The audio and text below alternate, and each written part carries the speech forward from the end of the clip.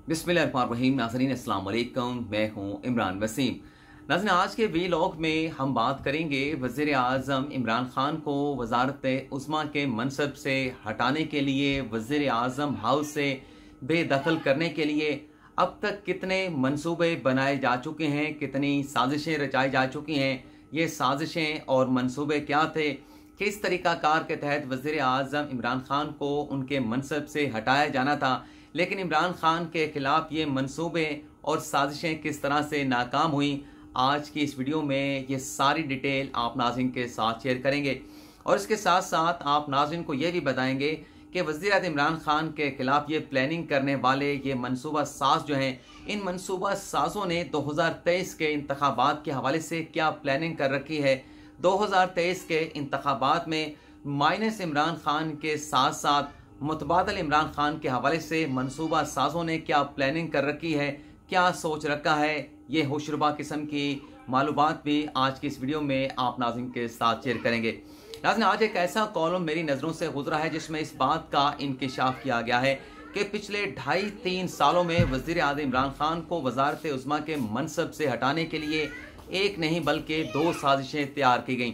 पहली साजिश के हवाले से कॉलम में ये तहरीर किया गया है कि इमरान खान को हटाने का पहला मंसूबा अक्टूबर 2019 में बनाया गया था। लेकिन ये मंसूबा नाकाम होने के बाद इमरान खान को हटाने का दूसरा मंसूबा ठीक एक साल बाद सितंबर 2020 में बनाया गया।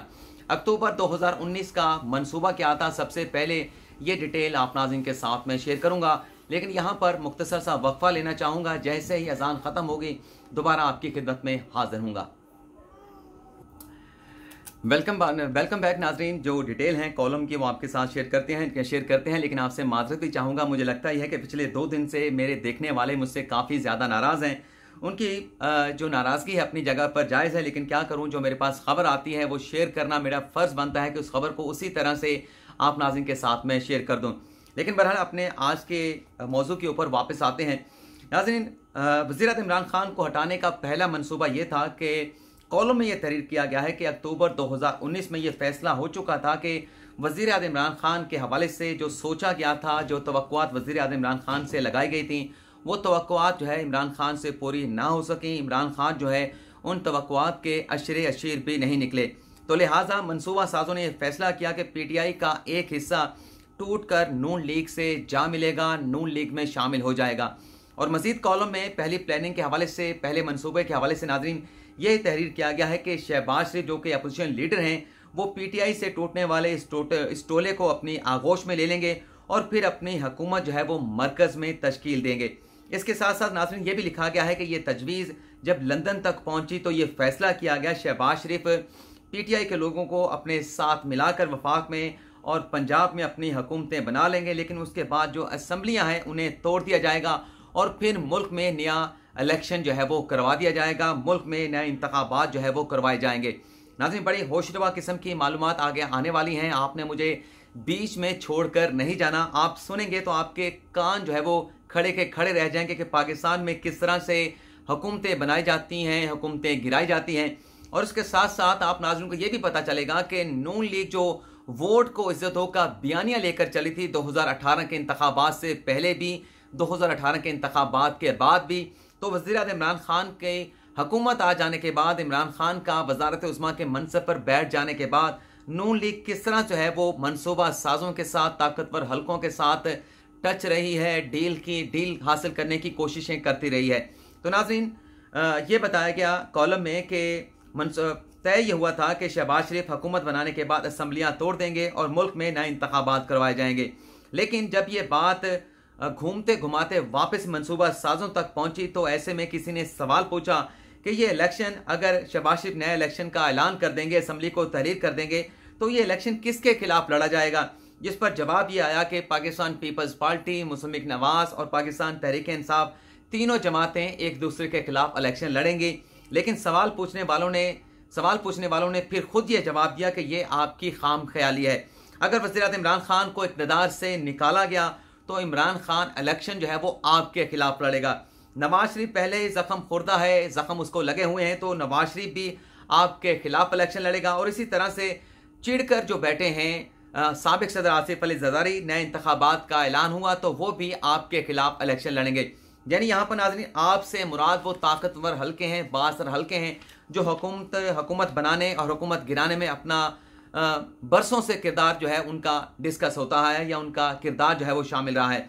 लेकिन बहर आगे चल के कॉलों में लिखा गया है कि जब ये बात डिस्कस हुई कि अगर आप इमरान खान को हटा देंगे तो फिर ये तीनों सियासी जमातें मिल के आपस में नहीं, बल्कि आपके खिलाफ इलेक्शन लड़ेंगे तो फिर बात यहाँ पर रुक गई।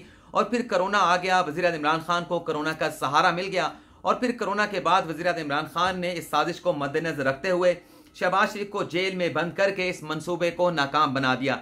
यानी जो अक्टूबर 2019 में मनसूबा इमरान खान को हटाने का बनाया गया था। इस मनसूबे की इमरान खान को भी भनक पड़ गई थी और शायद कॉलम में जिस तरह से तहरीर किया गया है, इसका मकसद यह है कि इससे मनसूबे का पता चलने के बाद, मनसूबा आश्कार होने के बाद इमरान खान ने शहबाज शरीफ को गिरफ़्तार करा दिया और जेल में चले गए सबक वजी पंजाब शहबाज शरीफ।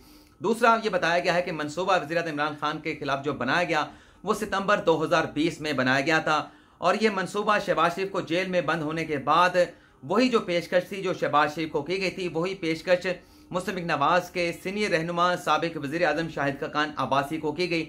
नाजी ये कॉलम जिसने तहरीर किया है, उसका मैं नाम भी बताऊँगा, लेकिन अभी तजस के लिए उसका नाम जो है मैं अपने पास रख रहा हूँ कॉलम के अपने वीडियो के आखिर में उसका नाम आपके साथ में शेयर करूँगा। लेकिन कुछ लोग नाराज़ हो जाते हैं कि आप नाम पहले क्यों नहीं बताते तो उनकी नाराज़गी के ऊपर भी मैं उनसे माजरत करूँगा। तो नाजिन कॉलम में लिखा गया है कि जो एक साल पहले शबाशी को पेशकश की गई थी वही पेशकश जो है वो शाहिद का कान अब्बासी को की गई। लेकिन शाहिद का कान अब्बासी ने ये ने, ने ये शर्त रख दी कि जो लोग पीटीए से पीटीआई से टूटना चाहते हैं पीटीआई से टूटने वाले वो लोग जो है सबसे पहले पीटीआई से तहरीक इंसाफ से अलग होकर प्रेस कॉन्फ्रेंस करें और फिर वही लोग जो है वजी इमरान खान के खिलाफ कौमी असम्बली में तहरीक अदमतमाद लेकर आएँगे। तो फिर मुसमिक नवाज़ इस रास्ते पर चलने के हवाले से सोचेगी चलने के हवाले से क्या फैसला करना है, ये फिर मुसमिक नवाज़ करेगी। लेकिन कॉलम में ये बताया गया है कि जब ये मामला जो पेशकश शाहिद का कान अब्बासी को की गई, जब ये मामला नवाज़ शरीफ के इलम में आया, नवाज़ शरीफ तक पहुँचा तो उन्होंने इस इस मामले के ऊपर रजामंदी से साफ़ इनकार कर दिया। क्योंकि कॉलम में लिखा गया है कि नवाज़ शरीफ ये समझ रहे थे क्योंकि उस वक्त पीडीएम बना, बन चुकी थी, पीडीएम के जल से एहतजाज का, हुकूमत के खिलाफ जो है वो आगाज़ हो चुका था। क्योंकि नवाज़ शरीफ ये समझते थे कि पीडीएम की जीत हो चुकी है, पीडीएम की जीत नज़र आ रही है तो लिहाजा इस पेशकश को नवाज़ शरीफ की जानब से मुसरत कर दिया गया, इनकार कर दिया गया। लेकिन फिर कॉलम में आगे चल के लिखा गया है कि जब पीडीएम का लाहौर का जलसा नाकाम हो गया तो फिर सब कुछ बदल गया। पीडीएम में, पीडीएम के ज़ोर के ऊपर शहबाज शरीफ ने यह तय करवा लिया कि नवाज़ शरीफ जो है खामोश रहेंगे। शहबाज शरीफ ने यह तय करवा लिया कि नवाज़ शरीफ खामोश रहेंगे और मुस्लिम नवाज़ के रास्ते में किसी किस्म की रुकावट पैदा नहीं की जाएगी। ज़मन इंतबात में मुस्लिम नवाज़ जो है वो जीतती गई, जो डील जो है शहबाज शरीफ की जेल में बैठे हुए तय हुई थी। ये कॉलों में नाजिन तहरीर किया गया जो मैं आपको पढ़ के सुना रहा हूँ कि जो डील तय हुई थी ज़मन इंतबात में, फिर मुस्लिम नवाज़ जीतती गई और असम्बलियों को तोड़ कर नए इंतबात की जो नवाज़ शरीफ की जिद थी, उसे भी नवाज़ शरीफ ने छोड़ दिया। क्योंकि नवाज़ शरीफ अब ये चाहते हैं कि मौजूदा हुकूमत अपने अंजाम तक खुद पहुँचे। और आइंदा इंतबात में पी टी आई की कोई टिकट लेने वाला ना हो और हुकूमत को अपना वक्त पूरा करने का पूरा पूरा पूरा पूरा मौका दिया जाए। एक तरफ़ नाजमी एक कॉलम है जिसमें यह इंकशाफ किया गया है कि नून लीग अब यह समझती है कि पीटीआई को पाँच साल पूरे करने चाहिए, लेकिन दूसरी तरफ़ मौलाना शहबाज शरीफ और उसके साथ साथ नवाज़ शरीफ ये रबते करते हैं कि हुकूमत के खिलाफ ईद के बाद पी डी एम से नई तहरीक का या उसी जो तहरीक थी उसे दोबारा से जो है वो शुरू किया जाएगा। लेकिन बहरहाल, आगे नाजमी बढ़ते हैं। आपने जाना नहीं है, मैं फिर आपसे रिक्वेस्ट कर रहा हूँ कि अभी बहुत अहम मालूम जो है वो डिस्कस होना आपके साथ शेयर करना बाकी है। आगे चल के नाजमी लिखा गया है कि शहबाज शरीफ की जमानत जो की गई, दरअसल ये ऐलान था कि 2023 के इंतबात में शहबाज शरीफ वजी अजम के मुतफ़ का उम्मीदवार होंगे और दरअसल लाहौर हाई कोर्ट का फैसला ये शहबाज शरीफ के मुतफ़ वजी अजम के उम्मीदवार के तौर पर एक नाम था और वजी इमरान खान ने भी इस बात को इसी तरह से समझा, इसी तरह से लिया। और इसलिए वजी इमरान खान ने सऊदी अरब से वापस आने के बाद शहबाज शरीफ के खिलाफ न सिर्फ़ एक्शन लिया, बल्कि हुदेबिया पेपर मिल केस खोलने का फैसला भी कर लिया गया कि हुदेबिया पेपर मिल केस की असर नौ तहकीकत की जाएँगी। आगे चल के लिखा गया कि इमरान खान को इलम है कि असल खतरा शहबाज शरीफ है। मरियम नवाज़ पीटीआई के लिए खतरा नहीं, बल्कि पीटीआई को इमरान खान जो है मरियम नवाज़ को पीटीआई की ताकत समझते हैं। आगे कॉलम में ये लिखा गया है, मैं बार बार कॉलम में ये लिखा गया है ताकि मैं जो बात करूँ, ये ना समझा जाए कि ये बात मैं कर रहा हूँ।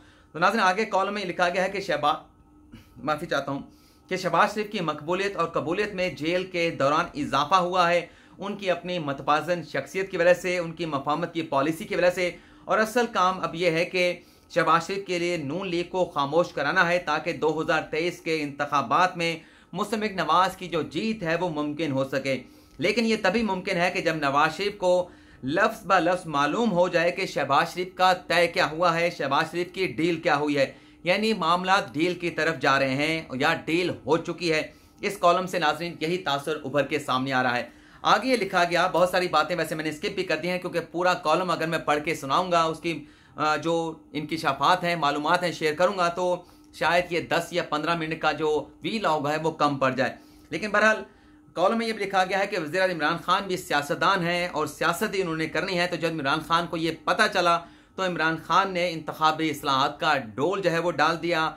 शबाज शरीफ के खिलाफ हदेबिया पेपर मिल की असर नौ तहकीकत करने का फैसला कर लिया। और इमरान खान का हदफ ये है, ये कॉलम में लिखा गया है कि वो आइंदा इंतबात से पहले शबाज शरीफ को रोकना चाहते हैं। शबाज शरीफ को किसी न किसी मामले में फंसाना चाहते हैं ताकि नून लीग आइंदा का जो इंतबात है आइंदा के जो इंतबात हैं वो शबाज शरीफ के बगैर लड़े क्योंकि इमरान खान ये सोचते हैं ये समझते हैं कि अगर शबाज शरीफ के खिलाफ के, के के के से हटकर मतलब अगर शबाज शरीफ नहीं होंगे शबाज शरीफ के बगैर अगर मुसमिक नवाज़ आइंदा दो हज़ार तेईस के इंतबात में हिस्सा लेंगी तो शिकस्त जो है नून लीग का मुकदर होगी। आगे लिखा गया है कि अगर ये हो गया कि शबाज शरीफ को नवाज़ शहबाज शरीफ को वजी अजम इमरान खान ने फंसा लिया, उनके खिलाफ कोई मुकदमा बन गया तो फिर मुतबादल मनसूबा ये तैयार किया गया है कि शहबाज शरीफ अगर फंस जाएँ जिससे वो ना निकल पाएँ तो पाकिस्तान पीपल्स पार्टी, आसिफ अली जरदारी उभर कर सामने आ जाएँगे और फिर पंजाब से चौंतीस ऐसी नशस्तें जहाँ पर पाकिस्तान पीपल्स पार्टी जीत सकती है, वो सीटें जो हैं वो इसके आगे नहीं लिखा गया, लेकिन ये कहा गया है कि चौंतीस ऐसी नशस्तें हैं जो पंजाब से पाकिस्तान पीपल्स पार्टी जीत सकती है। और ये भी कहा गया है कि पीटीआई को इलम ही नहीं कि जब कॉलम में ये कहा गया है। नाजिन मैं फिर वाजे करना चाहता हूँ कि कॉलम में लिखा गया है कि पीटीआई को, यानी इमरान खान को ये इलम ही नहीं कि जब आसमानों पर फैसला हो जाता है तो क्या होता है। कम अज कम इमरान खान जो है, चौधरी शुजात हुसैन से ही पूछ लेते कि उनका 2018 के इंतबात में क्या हाल हुआ था।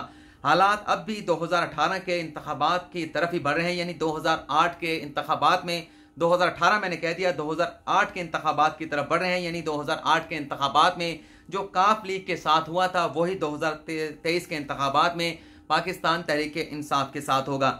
आखिर में नाजी लिखा गया है कि तहरीक इंसाफ को कुछ ही दिनों में पता चल जाएगा कि शहबाज की परवाज को रोकना शहबाज की परवाज को चिड़िया नहीं रोक सकती, और अगर शहबाज की किस्मत ख़राब ना हुई तो उन्हें उड़ने से कोई नहीं रोक सकता।